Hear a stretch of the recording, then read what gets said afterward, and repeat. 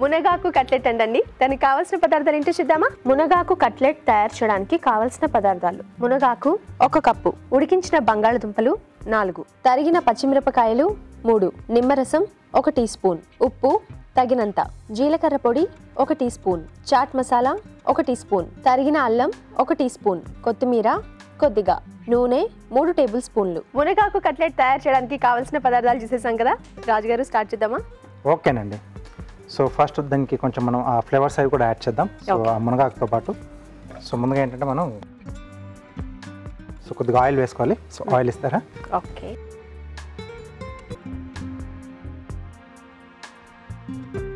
దీంట్లో ముందుగా కొద్దిగా అల్లం ముక్కలు. ఓకే అలాగే తరిగిన పచ్చిమిరపకాయలండి.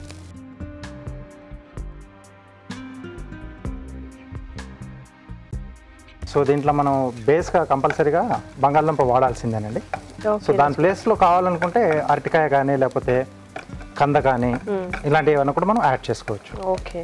కట్లెట్ కాబట్టి అలా రావాలంటే ఏదో ఒక దుంప యూజ్ చేయాలి మనం. సో ఇది కొంచెం వేగిన తర్వాత మునగాకండి. ఓకే. సో ఇది ఎప్పుడు తీసుకున్నా కొంచెం లేతగా ఉన్నది తీసుకుంటే మనకు బాగుంటుంది. టేస్ట్ బాగా వస్తుంది. సో కొంచెం తొందరగా కూడా వేగుతుందండి. ఓకే. సో చెట్టిన వాళ్ళు అంటే మంచి లక్కీ అనుకోండి. అవును. సో అన్ని రకాల వాటిలో ఉన్న పులుసుల్లో కానీ సాంబార్లో కానీ ఏదైనా చేసుకునే కర్రీలో కానీ ఉప్మా లాంటి వాటిలో సో ఇలా వేపుళ్ళలో కావాల్సినట్టుగా మనం ఇలా యాడ్ చేసుకోవచ్చు. సో ఇది కొంచెం వేగాలండి మనకు ఆకు. ఓకే అండి. అది వేగే లోపు మనం ఒక చిన్న చిట్కా చూద్దాం. ఇప్పుడు మీకోసం ఇంకో చిట్కా. మామూలుగా మనం ఆమ్లెట్ వేసుకోవడానికి ఎగ్ కలుపుకున్న తర్వాత ఆ గిన్నెని ఎంత క్లీన్ చేసినా ఆ వాసన అనేది ఒక పట్టాను పోదు. మరి ఈ వాసన పోవాలి అంటే ఆ గిన్నెలో కాస్త నిమ్మరసం కలిపి ఉంచి ఒక ఐదు పది నిమిషాల తర్వాత డిటర్జెంట్తో వాష్ చేసుకున్నట్లయితే వాసన శుభ్రంగా పోతుంది. రాజుగారు వేగిందా? వేగిపోయిందండి. ఓకే. ఓకే కొంచెం దగ్గరకు వచ్చేసింది కదా. ముందుగా ఉడికించుకున్న బంగాళదుంపను ఇలా మెత్తగా మెది పెట్టేసుకోవాలండి ఓకే. సో ఇది యాడ్ చేస్తున్నాం. సో ఇక్కడ మనం స్టవ్ ఆఫ్ చేసుకోవచ్చండి. ఓకే. సో ఆల్రెడీ బంగాళదుంపలు కూడా బాగా ఉడికిపోయింది ఉడిపోయింది కాబట్టి ఇవన్నీ దీంట్లో కలిసిపోతాయి కదా. సో దీంతో పాటుగా సరిపడా ఉప్పు. కొద్దిగా జీలకర్ర పొడి. సో మునగాకుతో ఇవన్నీ కూడా బాగా సెట్ అవుతాయి. సో కొంచెం చట్పటాగా ఉంటే బాగుంటుంది కదా. చాలా మంది కట్టెట్లో అది ఎక్స్పెక్ట్ చేస్తారు. కాబట్టి కొద్దిగా చాట్ మసాలా కొద్దిగా నిమ్మరసం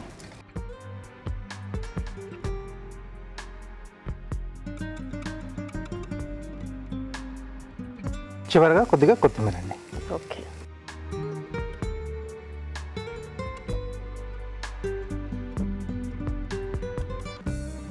ఓకే. సో ఇది కాస్త మనకి చల్లారితే అప్పుడు మనం కట్టర్స్లో చేసేసుకోవచ్చు. ఓకే రాజుగారు. అయితే వెయిట్ చేద్దామంటారా? ఓకేనండి. రాజుగారు చల్లారిందా? ఓకేనండి.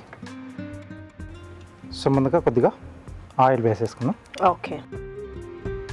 అలాగే కట్లెట్స్ మనం ఉతుకునేప్పుడు కూడా చేతికి కొంచెం ఆయిల్ పెట్టేసుకుంటే మనకు అతుక్కోకుండా వస్తుందండి.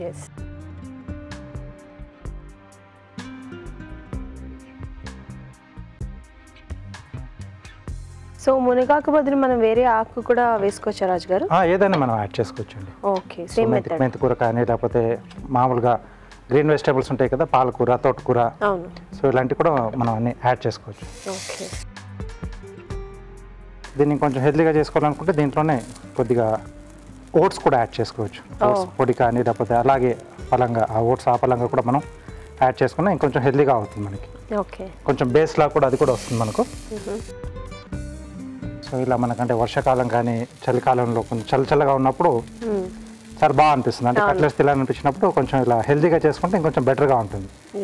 ఈవినింగ్ టైంలో మనం చేసుకుని తింటే సో డిన్నర్ కాకుండా ఇవే తీసేసుకుంటే బెటర్గా ఉంటుంది.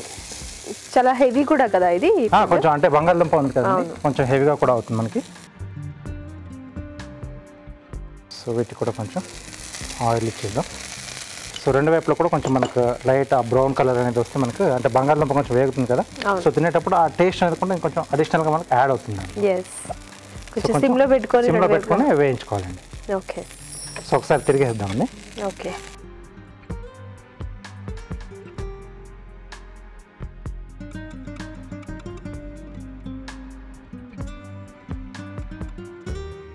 రెండో వైపు కూడా మనకి ఇలాంటి కలర్ వచ్చేసేస్తే అప్పుడు మనం తీసేసుకోవచ్చు. సో ఈలోగా కార్వింగ్ చేసుకున్నాం ఓకే రాజు గారు. సో ఈరోజు టమాటోతో చేస్తున్నానండి. టొమాటోతో ఏం చేస్తున్నారు క్రాబ్ చేస్తున్నాను. Crab okay.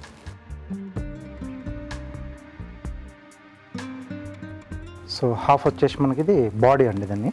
Okay. Okay?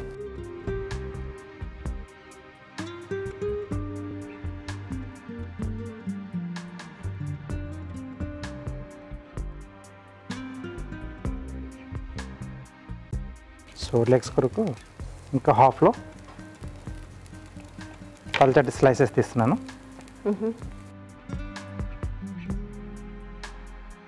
Okay.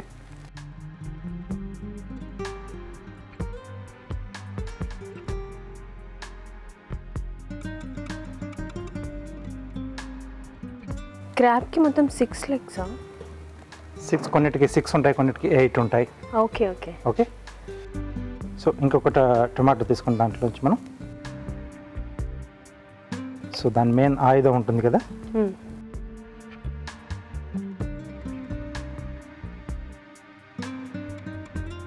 So లోపల ఈ గుజ్జు తీసేసి సో దీన్ని వీ షేప్లో కట్ చేస్తున్నాం.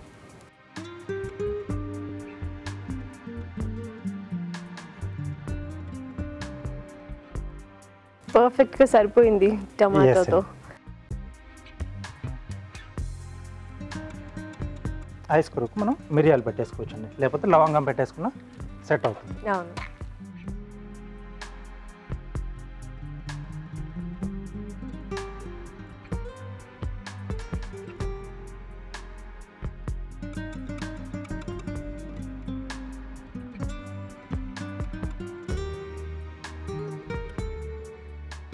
ఓకే సో రెడీ అయింది. సో మన కట్లెట్స్ కూడా తీసేసుకుందాం. ఓకే.